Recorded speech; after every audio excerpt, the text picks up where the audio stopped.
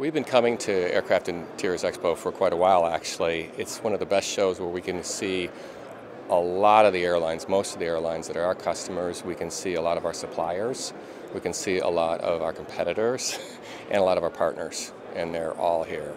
We got into the aircraft interiors side of the aviation industry back in the early 90s actually, where we started to develop the in-seat power product called Empower and we've now got over 190 airlines that we're doing in-seat power with.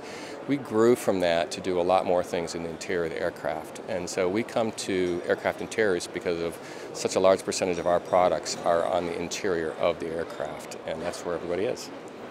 We hope to achieve a lot of things here. At the Expo, we think that, first of all, meeting with our customers, we meet with dozens of airlines while we're here. We meet with dozens of our partners and we find out what's new in the industry, what's trending in the industry.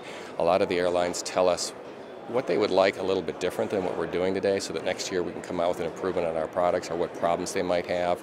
Our suppliers tell us what, what they're coming out with new products so we can integrate them into our products. So there's a lot of things going on. We will definitely be back again next year.